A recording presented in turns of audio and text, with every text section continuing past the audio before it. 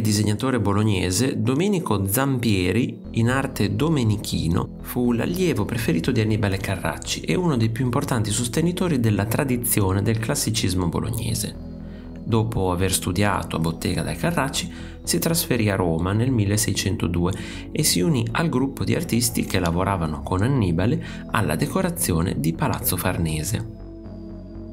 Per i primi decenni del Seicento, Domenichino fu il pittore più importante a Roma. In questo periodo dipinse numerose pale d'altare ed ebbe molti dei maggiori incarichi decorativi, tra gli altri una serie di scene di vita di Santa Cecilia nella chiesa di San Luigi dei Francesi. La composizione dignitosa delle figure, come in un fregio, riflette i suoi studi sugli arazzi di Raffaello e a sua volta influenzò Poussin. Il soggiorno romano diede all'artista la possibilità non solo di affermarsi, ma anche di continuare la formazione con l'assiduo studio di grandi artisti come Raffaello, di cui risuonano gli echi anche negli affreschi dell'abbazia di Grottaferrata. Il suo capolavoro degli anni venti del Seicento è una serie di affreschi eseguiti in Sant'Andrea nella Valle, rappresentanti quattro evangelisti nei pennacchi della cupola e scene della vita di Sant'Andrea nell'abside. I pennacchi mostrano uno spostamento dal classicismo verso uno stile più ampiamente barocco, ma Domenichino non abbandonò mai i suoi principi di chiarezza e sicurezza nel disegno per cedere a facili effetti pittorici. Nel 1631 si trasferì a Napoli e nei suoi affreschi, nella cappella di San Gennaro della cattedrale, si concesse maggiormente allo stile barocco. Alcuni artisti napoletani erano gelosi del suo successo e gli furono ostili, spingendolo a lasciare la città nel 1634. Domenichino aveva una personalità timida e ansiosa e non volle trattenersi oltre in un ambiente a lui avverso. Ritornò a Napoli l'anno successivo, nel 1635, ma morì prima di finire la sua opera nella cattedrale nel 1641.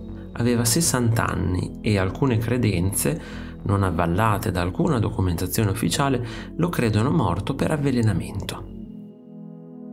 Sebbene sia stato rinomato per le decorazioni ad affresco e per le pale d'altare, Domenichino fu importante anche in altri campi, in particolare come esponente del paesaggio ideale. Per questo genere pittorico rappresentò l'anello di congiunzione tra Annibale Carracci e Claude Lorraine. Domenichino costruisce i suoi paesaggi a partire dalle esperienze dell'arte veneta del secolo precedente e le riveste di pacato classicismo, come vediamo nel paesaggio con Tobia e l'angelo. L'episodio biblico è rappresentato in primo piano, ma i personaggi paiono annullati dalla preponderanza del paesaggio. Le grandi piante dipinte ai margini del quadro accentuano la percezione della prospettiva. In un altro capolavoro, la caccia di Diana, conservato alla Galleria Borghese di Roma, l'artista sperimenta la modulazione dei colori nella resa del paesaggio in lontananza attraverso sovrapposizioni di sottili velature. Una tecnica che denota l'interesse del pittore per la teoria della prospettiva aerea di Leonardo. Questo artista bolognese fu uno dei migliori disegnatori della sua generazione e anche un grande ritrattista la Royal Library del castello di Windsor conserva un'eccezionale collezione di suoi disegni. La sua fama ha avuto alti e bassi nel corso della storia.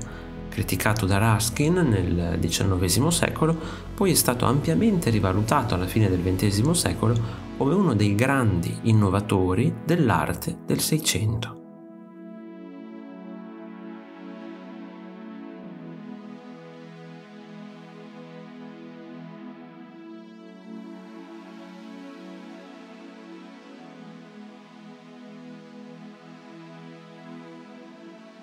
Se ti è piaciuto il video iscriviti al canale, lascia like e condividilo con i tuoi amici. Ti invito anche a visitare il mio negozio. Un saluto e al prossimo video di Arte Esplorando.